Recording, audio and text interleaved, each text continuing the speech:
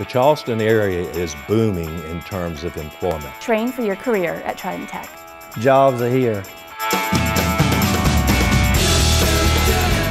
If you are in a Trident Technical College program, you can be assured that you will get the skills you need to obtain a job in the Charleston Tri-County area. We're a community school, and so we, we bring in from community, we're affordable for the community, and our purpose is to put people back into the community working here. The instructors work with you to make sure that you are going to get a job. You, you know, you have some type of direction after you graduate. You really feel like everybody here wants you to succeed.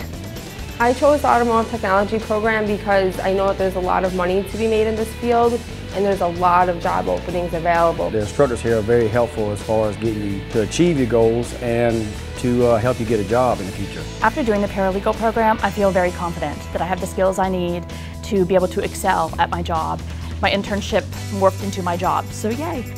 I get to do the job that I love, but I get to stay in the area that I love as well, and I'm guaranteed a job when I get out. I'm a mother, I have three kids, I have a husband, and money is not something we have a lot of. It really is affordable. I chose the HVAC refrigeration program because there's tons of jobs out there right now.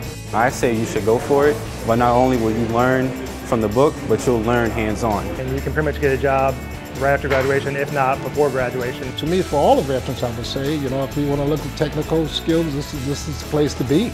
I am training for my future at Trident Tech. I'm getting a degree and a career. Jobs are here. It's your time at Trident Tech.